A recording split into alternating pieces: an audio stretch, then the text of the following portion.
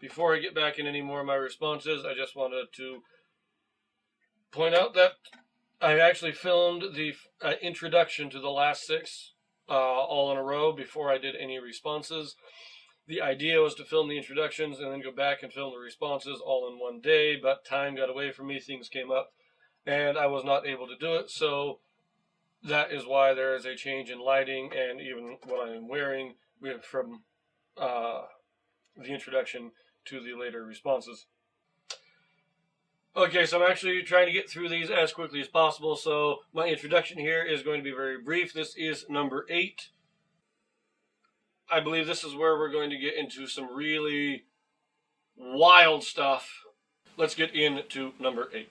Number eight thing that Mormons believe that is really weird is they believe that the Garden of Eden is actually in Missouri. I mean, move over Middle East. Yeah, Missouri. You know that bastion of holiness out there, where where all those holy things were, and all that really really fancy looking beautiful state, Missouri. you know, that's where the Garden of Eden is. And uh, actually, I believe Brigham Brigham Young actually believed that, and uh, so they actually believe that Jesus Christ is even going to come back and land in Kansas City, and they actually have a church there that's shaped like a slide. So when he comes down, he can just slide around and just kind of you know water slide into the earth because you know go Jesus. You know, that's really bizarre, but that's what Mormons believe. Let's dissect this a moment. The Garden of Eden. The Garden of Eden is no longer on the earth.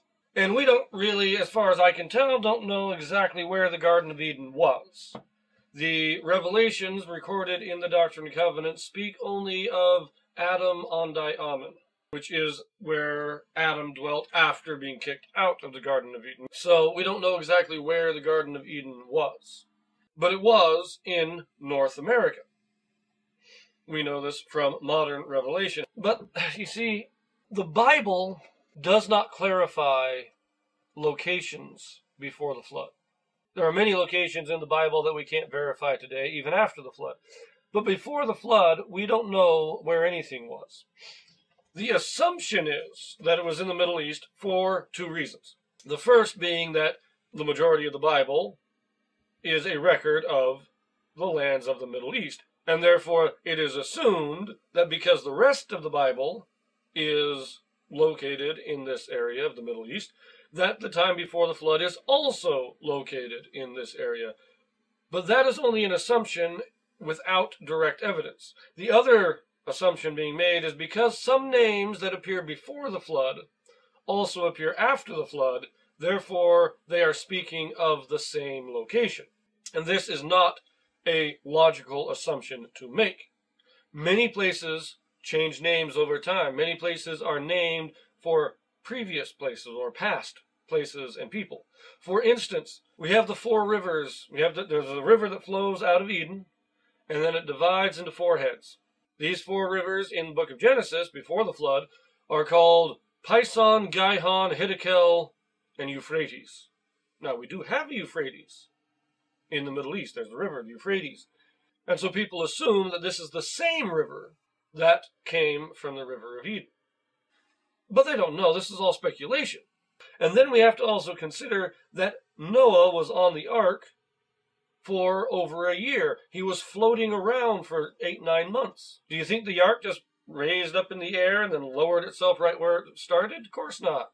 Floated up in the land that it would eventually be North America. And after eight months, it landed in the mountains of Ararat out in the Middle East. And when Noah and his sons came off the ark and they had children and they began to spread across the land, nothing would be more natural than for them to name places, rivers, locations after those places and locations that they had known before the flood. They named one of the rivers Euphrates after the river that they had known before the flood. Ethiopia was a land before the flood, given that name given to a land in Africa. All these things just because they have the same name does not mean they are the same location. To give you a nice modern example, in Utah, there is a river that flows from uh, Lake Utah north into the Salt Lake. When the Saints moved out to Utah, they named that river the Jordan. It's not the same river as the one in the Middle East. The Jordan River that goes between the Sea of Galilee and the Dead Sea, that's the sea, that's the river that is talked of in the scriptures. But there is a River Jordan in Utah. See, we can't assume, as I said, you can't assume that because things share a name, that that means they are the same. And so the Bible itself does not tell us where the Garden of Eden was. Now, as I said near the beginning, the uh, the actual location of the Garden of Eden itself, I don't think we know. Even in modern revelation, we were not told. What we are told is this. This is Doctrine and Covenants, section 116. Spring Hill is named by the Lord Adam-ondi-Ahman, because, said he, it is the place where Adam shall come to visit his people, or the Ancient of Days shall sit, as spoken of by Daniel the prophet. Now, this is going back to Daniel chapter 7, and he does mention this in the video, and I will talk about that a little later, but this is where we get the location of Adam-ondi-Ahman being in Missouri. Now, Spring Hill, Missouri, that's actually somewhat north. There it is. Now, this is not the first time the name Adam-ondi-Ahman was used in modern revelation. This one was in 1838 that Joseph Smith received this revelation in section 116. But as early as 1832, we had this revelation says that thou may come up unto the crown prepared for you and be made rulers over many kingdoms, saith the Lord God, the Holy One of Zion, who hath established the foundations of Adam-ondi-Ahman. This was the first reference to Adam-ondi-Ahman, at least in official sources.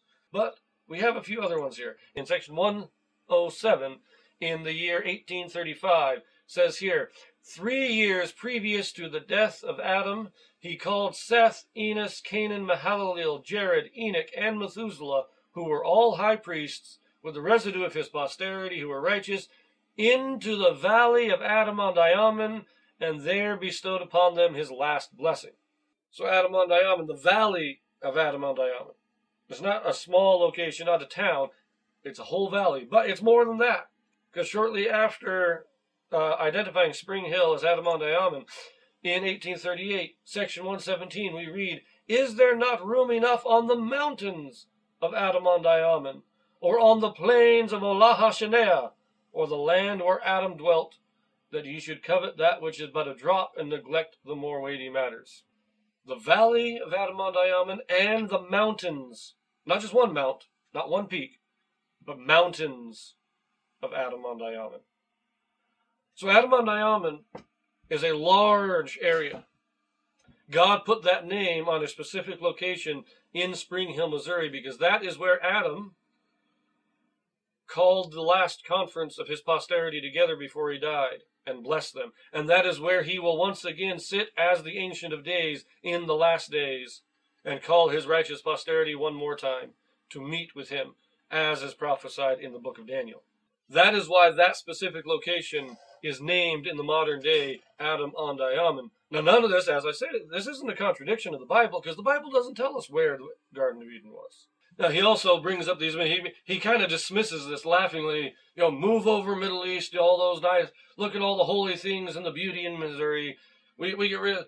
Have you compared Missouri to the Middle East? Missouri is a beautiful place. Here's a picture of Spring Hill, or what we call in the church Adam-ondi-Ahman. Look at this place. Compare it to the Middle East. Look at other pictures of Missouri. See, he only shows you pictures of tornadoes, floods, criminal mugshots. He's trying to say that look at all of this violence, whether it be natural violence or human violence. He's only showing you that. But I could do the same thing in the Middle East. Look at the flood in the Middle East. Look at the wars that are tearing through the Middle East for the last 500 years. If all you want to do is focus on the violence, you can do that anywhere. But if you want to focus on the sheer beauty of a place, I mean, I love the Middle East. It's got some great sights, but it doesn't compare to Missouri. It doesn't compare to the Midwest of the United States and the Great Plains. The natural beauty of the United States far surpasses the natural beauty of the Middle East. And on a final note, he brings up, well, he says, oh, they believe that he's going to come back to Kansas City. no, no. Kansas City has nothing to do with it. Kansas City is it means nothing. Independence, Missouri, is where the city of Zion will be built. But what he's talking about, he's making reference again to Daniel. And that's not going to be in Kansas City or in Independence. It's going to be at Spring Hill, or the land that we now call Adam-ondi-Ahman. He's got his geography wrong there. But then he shows the temple of the community of Christ. Now, the community of Christ is a very large offshoot of the original Church of Jesus Christ of Latter day Saints. And they are very much separated from us. They are not affiliated. They are no clo- they are no more closely affiliated with the Church of Jesus Christ of Latter-day Saints than the Baptists are affiliated with the Catholics. This is a, a, a deceitful presentation showing this building and claiming that the Mormons built it. Now, in one shot, he does show the sign that says Community of Christ on it, but it's only shown for a second or two before they pan up so that you can't see it anymore.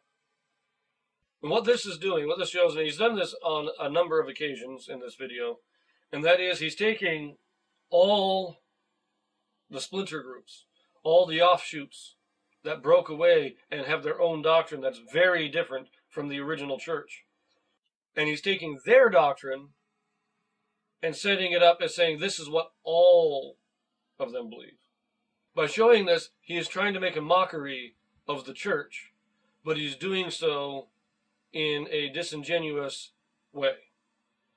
But it's important note this building is not built by the Church of Jesus Christ of Latter day Saints.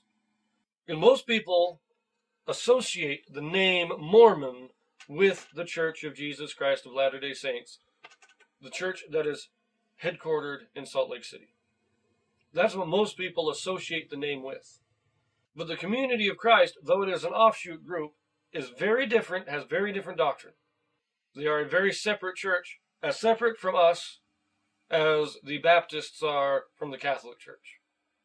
Now, if he doesn't know this, then he's too ignorant for anybody to listen to on this subject.